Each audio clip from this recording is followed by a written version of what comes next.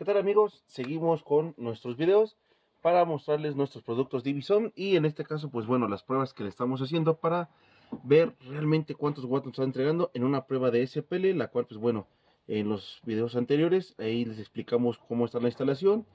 Esta es una instalación que es para eh, 0.5 ohms pero nosotros tenemos controlado un poco lo que es el sistema. Vamos a presentarles ahora este modelo que es el modelo DBST 2000.1 de la serie Strong. Igual, nuevo modelo en nuestro catálogo de productos, el cual es un, es un amplificador clase D de 2000 watts a 1 ohm.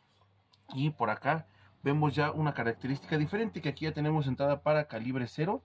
como podemos observar, y nuestra salida para lo que es las conexiones de estos subwoofer, las cuales se divide en cuatro, pero internamente son dos canales. Aquí lo hacemos para que sea más fácil la conexión de tu subwoofer para hacer la conexión eh, paralelo a un ohm como se lo explicamos en un video. Si no lo han visto pues bueno lo pueden buscar para que vean cómo lo pueden hacer. Y por acá tenemos el área de control el cual también es un amplificador linkeable que podemos colocar dos amplificadores del mismo modelo y duplicamos la potencia a 2 ohms amigos. Para SPL también puede servir pero hay que saberlo hacer con gente profesional y que tenga los conocimientos y aparatos necesarios para poder hacerlo. Pues bueno vamos a hacer la prueba para que ustedes vean el funcionamiento de este amplificador.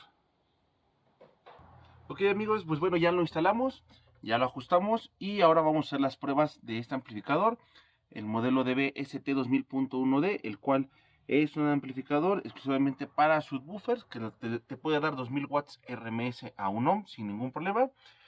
Y pues bueno, eh, volviendo a, la instalación, aquí tenemos lo que es la salida de audio, aquí conectamos nuestros subwoofers, aquí tenemos nuestra alimentación positivo, aquí tenemos nuestro remoto para que pueda encender, apagar, aquí tenemos nuestro cable de tierra y obviamente toda esta instalación eh, es muy importante que tomen en cuenta su, eh, el uso de cableado, el uso de baterías porque a mayor eh, eh, eh, amplificador que tenga más consumo de amperaje, pues nos va a dar más watts. Entonces hay que cuidar mucho lo que es la alimentación de baterías, su cableado, el ajuste para que obviamente funcione correctamente y no lo lleguen a dañar. Sobre todo en pruebas de SPL, en el cual, pues bueno, estamos haciendo una prueba a 0.5 ohms.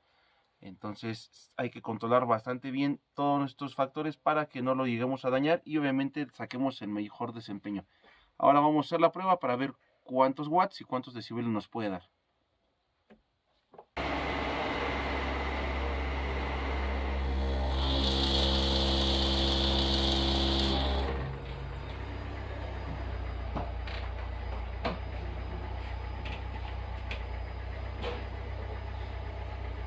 Ok amigos, pues bueno, como pueden observar,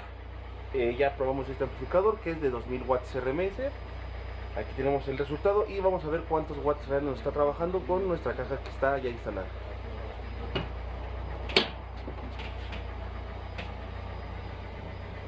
Como podemos observar, eh, tenemos un consumo de eh, una salida de voltaje perdón, de 46 volts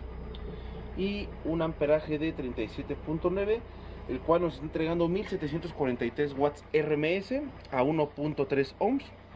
como pueden observar